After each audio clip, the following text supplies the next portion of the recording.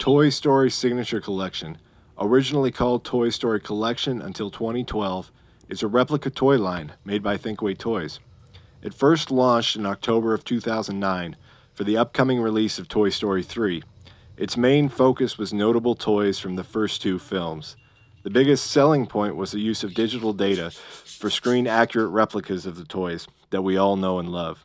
As well as movie styled inspired packaging, the line took a hiatus from 2012 to 2019 before coming back into stores and being exclusive to Target. Toy Story 4 characters being added for a build up to the new movie.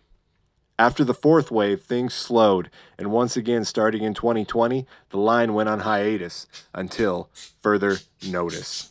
So, what do you think? Do you think we're going to get a re release of the Toy Story Signature Collection line for the upcoming Toy Story 5?